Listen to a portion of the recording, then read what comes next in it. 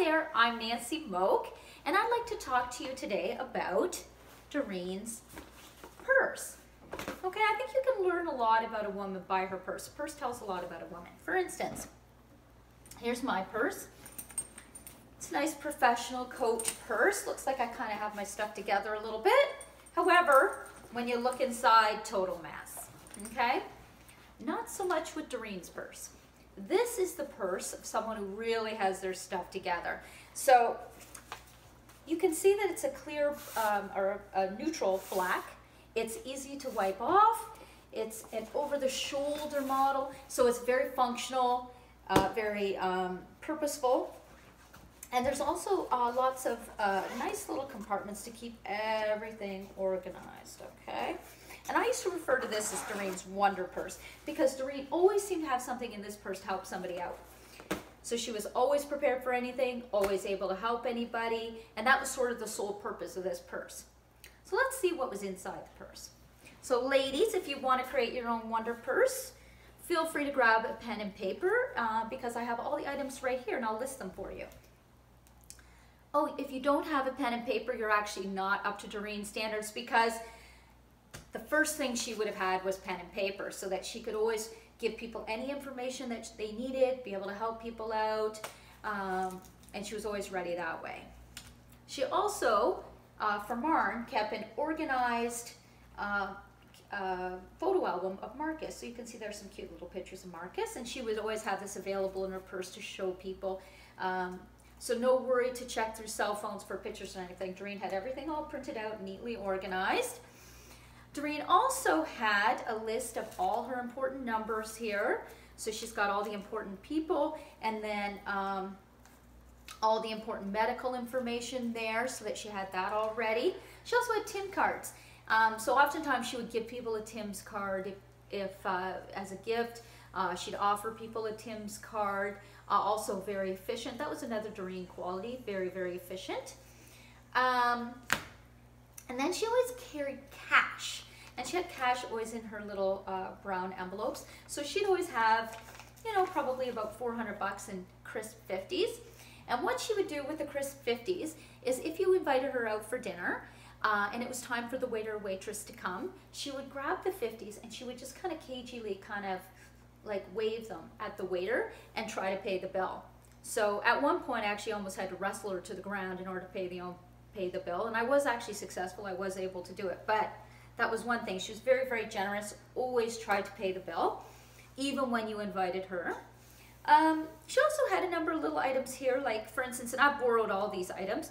She has this cute little bag, so it's a it's an extra little shopping bag. So if you are like myself and not organized and get out and you're holding all kinds of crap and trying to balance everything, oh, she's got a cute little shopping bag to help you out. She also had her cell phone, which I myself did personally borrow from her at one point. She actually offered, my car died, she actually offered to drive me for my job interview and then handed me her phone so that I could call her at home back for the pickup.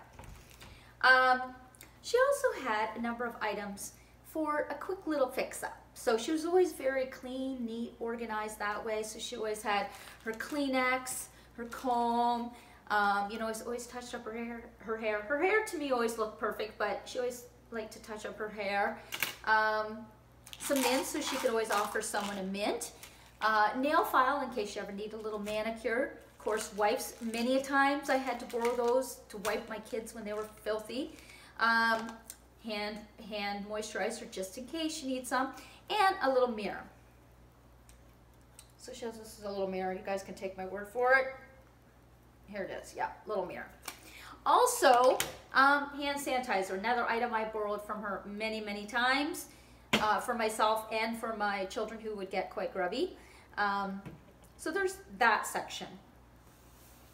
Then I have what I call Doreen the Nurse section. So in this bag is actually a full first aid kit. So I'll take a little look in here and see what we got. We have, yeah, like full gauze, gloves, band-aids, triangular bandage, um, alcohol wipes, everything you need to help someone, always a nurse, uh, who might be in need. Um, she also had the watch here with the second hand so that she could take somebody's pulse and a pair of scissors because you never know when you might need to have to cut somebody's pants off in order to do some first aid dressing or something like that, right? So anyway, she has all that. Then she had what I call the um, tool section of her purse.